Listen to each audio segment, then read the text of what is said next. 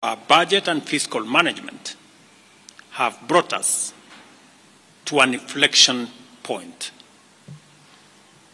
Upon reflection, listening keenly to what the people of Kenya have said, and after a holistic appraisal of the performance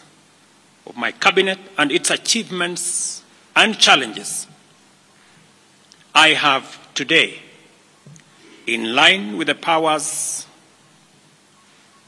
given to me by Article 1521 and 1525b of the Constitution and Sections 130, Sections 12 of the Office of the Attorney General's Act, decided to dismiss with immediate effect all the cabinet secretaries and attorney general of the Republic of Kenya, of the Cabinet of Kenya, except the Prime Cabinet Secretary and Cabinet Secretary for Secretary uh, and Secretary for and Cabinet Secretary for Foreign Affairs and Diaspora Affairs. And of course, the office of the Deputy President is not affected in any way.